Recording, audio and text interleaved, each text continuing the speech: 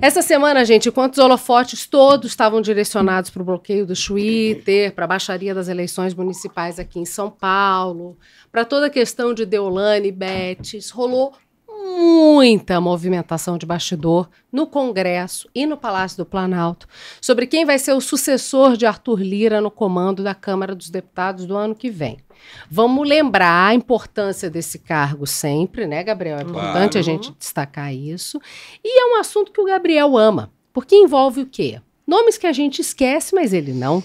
Tipo de quem? tipo, tipo nome de quem? Do ex-prefeito de São Paulo, dono do PSD e da política brasileira, Nossa Gilberto Kassab. Nossa senhora. Fala. O homem que articula tudo. Eu, Eduardo Cunha da nova geração. Eu gosto muito porque as pessoas esquecem da existência Totalmente. do Kassab, mas o Kassab tá aqui, ó, nas marionetes. É, ó, vamos falar os grandes nomes que fazem isso. Kassab, Michel Temer fez muito, Eduardo Cunha fez muito. São os, os come quieto ali, uhum. que ficam só no tu, tu, tu, tu, tu.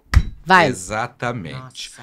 Como a Manu adora dizer, agora a gente vai falar de real politics. Eu gosto. Tá? E eu preciso que você preste atenção, porque eu vou falar vários nomes e, e uma coisa meio Game of Thrones, gente derrubando gente. Então presta atenção aqui comigo, porque isso é importante. Porque como você viu nos últimos 200 anos de Brasil, é, o presidente da Câmara tem um poder sobrenatural nessa república, Poxa. né? Então vamos lá. Nessa semana, o presidente do Republicanos, o deputado Marcos Pereira, desistiu de concorrer ao comando da Câmara no ano que vem. Uhum. Depois da desistência dele, o uhum. presidente da Câmara, Arthur Lira, se reuniu com o líder do União Brasil, uhum. o deputado Elmar Nascimento, que até o início dessa semana era o favorito de Lira para sucedê-lo. Só que o que dizem em Brasília é que essa reunião tinha o objetivo de fazer, na verdade, o Elmar desistir da sua candidatura em favor do deputado Hugo Mota, também do Republicanos. Hum.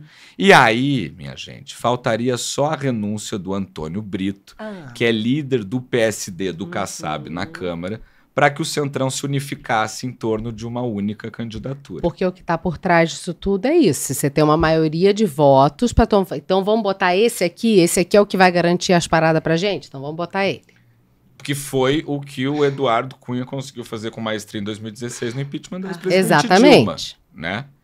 É, inclusive, o Pereira disse que renunciou por entender que o maior empecilho para a manutenção da sua candidatura foi o presidente do PSD, que é o Kassab. Uhum. uhum. Isso porque Kassab não abre mão por enquanto. E atenção, por enquanto. Da candidatura de Brito. Ah, Kassab gosta muito do Brito. Hum. Kassab é amigão do Brito. Kassab quer que o Brito seja o presidente. Vamos não, calma. não. O próprio Brito já disse que não vai, não queria concorrer contra o Mota, tá? Só que o Kassab não vai abrir mão da concorrência uhum. à presidência da Câmara sem uma contrapartida. Uhum. Aí qual é a ideia do Arthur Lira, então? É que todo mundo desista em apoio à Mota o que tornaria o deputado uma espécie de super trunfo, porque ele seria apoiado tanto por Lula quanto por Bolsonaro. Sim, Lula e Bolsonaro. E aí o que está em jogo agora? O que, que vão dar para as pessoas desistirem? Hum, me fala. O que está na mesa é a indicação para uma vaga no TCU a partir de 2026. Eita, foram longe, hein? Sim, minha gente. O prêmio para quem desistir de concorrer à presidência da Câmara, é uma vaga de ministro no Tribunal de Contas da União, porque em 2026 ah. a Câmara tem direito a indicar dois. Tá bom. Eu acho é. que, só antes de seguir, é importante a gente lembrar que o TCU é o responsável por toda a fiscalização das contas, da parte financeira, orçamentária, operacional, patrimonial de todos os órgãos e entidades públicas desse país é onde o dinheiro come solto. Então você está ali vendo as contas da União e, teoricamente, fiscalizando essas contas é de um poder enorme. Só para a gente lembrar isso aí. Mas não foi só isso que chamou atenção lá em Brasília essa semana, não, gente. Na quarta-feira, presidente Lula entregou 22 medalhas de mérito Oswaldo Cruz a 22 pessoas e 10 associações.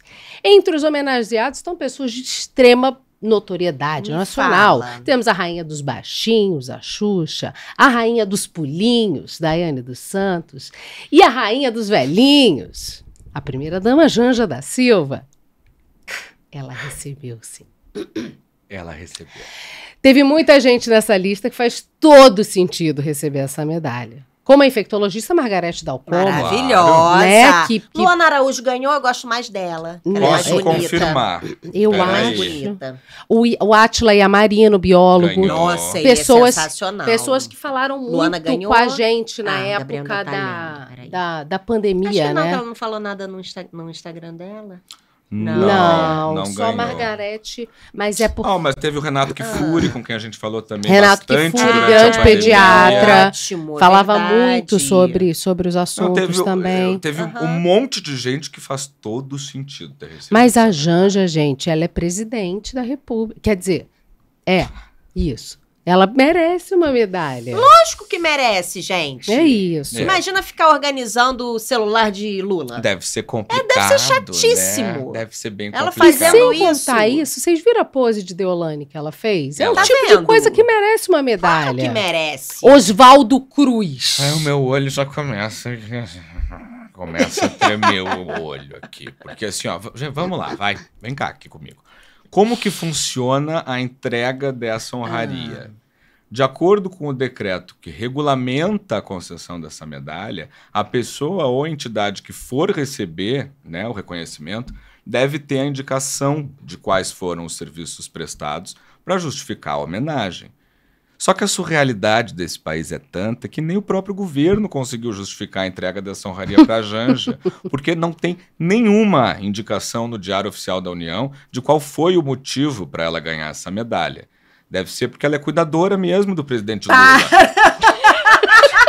Porque, assim, desculpa, gente. Na área da saúde, ela sabe? atua nesse sentido. É, geriatra. E aí. Aí o jornalismo foi lá fazer o seu trabalho, Ah. né? E perguntou para o Ministério da Saúde o que, que a Uhum. Janja fez para receber a tal homenagem. E o Ministério respondeu que ela fez uma live sobre vacina. Ah, maravilhosa. Merece sim, merece. O Zé Gotinha tava? O Zé Gotinha não ganhou. Ah, Você vê só. ah. E para arrematar as notícias surreais de Brasília, a gente teve também o pedido do Itamaraty de 200 milhões de reais para o Ministério do Planejamento, para evitar que o governo brasileiro fique inadimplente no aluguel de embaixadas e consulados no exterior e também para pagar a viagem de Lula a Nova York em outubro. É isso mesmo que você ouviu, meu querido. De acordo com a embaixadora Maria Laura da Rocha, que é secretária-geral do Itamaraty, as nossas missões estão sujeitas a ações de despejo, além da cobrança de multas e juros. Isso porque o Lula é o quê? É o grande conversador internacional, Yeah. né? Tá É. oferecendo guarida para Argentina lá na Venezuela. Pois é. É, só É que sim. nesse valor também estão incluídos quase 9 milhões de reais que vão servir para o Itamaraty arcar com os custos de hospedagem da comitiva do Mas presidente ele vai Lula. hosp- hospedar uma plaza? o que É, não, aquele outro. Plaza um, caído. Não faz sentido. Trump. Trump Tower. Não, eu não sei onde que ele vai se hospedar por 9 milhões. Calma, gente. Vou explicar quando chegar lá. Esse dinheiro vai pagar, como a Cecília está aqui indignada, a hospedagem do Lula e su- sua comitiva para a participação deles na Assembleia Geral da ONU. Lá em Manhattan. Manhattan é caro. Manhattan é Não é caríssimo. Brooklyn. É Manhattan. Só que você tem que levar em consideração que o dólar está caríssimo. Então, 9 milhões convertidos para dólar dá 102. Re- Centavos. Dólares, dólares. E tem que levar em consideração também que ele está indo em alta temporada. Claro. Porque outubro é negócio de Halloween. Halloween fica famoso Mas- lá. Ah, entendi. Bomba. Peraí, É, vai vamos levar ver. até a abóbora. Vai É, vamos botar. vamos botar que tá 5,5, não é exatamente Tá. isso, dólar? 1 milhão e 600 mil dólares. Gente, É. não é nada. Deve ser o quê? Quatro dias? Qual o tamanho dessa comitiva? É, não sei. Vai todo sabemos. mundo falar no púlpito? Eu não, eu, assim, eu vou me abster. Eu vou me abster porque senão eu vou infartar. Mas Na só- moral, não faz nenhum sentido. Mas ainda Primeiro assim porque a a gente está sofrendo ordem de despejo porque É a gente não tem isso. onde ficar. Ó, os, os- o- teve vários servidores do Itamaraty que não receberam auxílio moradia em Eles estavam querendo fazer, Fazer gre- greve, Gente, isso eles estavam falar. querendo fazer greve. Lembra que a gente deu aqui? Entendeu? Então, assim, é, é- E, e a gente está falando de países que têm representação diplomática do Brasil. Uhum. Quer dizer, normalmente você fica no escritório do Brasil, né? assim, na embaixada. É, olha, é. Isso porque eu ainda estou pensando aqui que em outubro, no final de outubro, o Lula ainda vai para a Rússia. Vai Ah, sair mas lá, caro. não, não, porque lá é rublo. Ah, Aí lá é o contrário. E lá ele entendeu? deve o quê? Deitar na cama com... Cem- Oh! 100 trilhões de Não. rublos dá dois reais. É, tranquilo. Então. Então fica, fica um E pouco lá na mais- Rússia não tem Manhattan. Então deve ser É, uma coisa também também. não, é Praça isso. Vermelha, Praça Vermelha. Ó, É bom, é bom lá. É